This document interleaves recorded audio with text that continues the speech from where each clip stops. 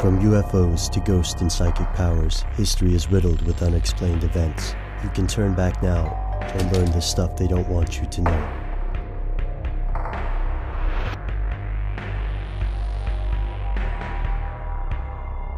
Here are the facts.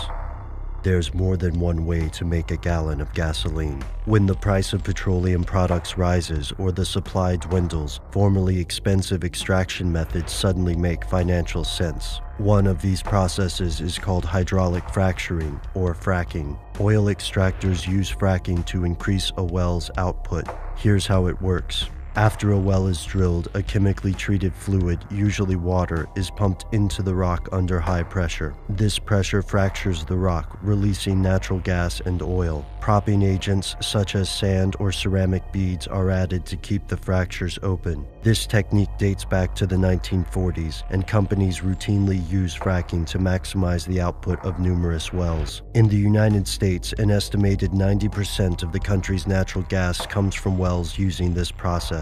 With such a history, it would seem fracking is an accepted tool of the oil industry, yet it remains highly controversial. Several government studies have found that despite environmental concerns, fracking does not pose a threat, but others don't just think hydraulic fracturing is dangerous. They think the government knows these dangers and has helped to cover up the risk. Here's where it gets crazy. It's no secret that drilling for oil creates environmental risk, and oil spills can wreak disaster. Critics of fracking maintain that the process pollutes local water tables with harmful chemicals such as methanol and benzene. There are several legal cases involving these allegations, such as the case of Berish versus Southwestern Energy Company. The plaintiffs allege that fracking has contaminated the area. Numerous other cases raise similar accusations, yet industry consultants often claim this type of contamination is due to the improper sealing of the well, which takes place before fracking begins. According to the New York Times, environmentalists and the industry may define fracking differently. Industry experts believe environmentalists misunderstand the process, but opponents of fracking claim the industry's experts are intentionally misleading consumers about the environmental impact of fracking. So, what does the government think?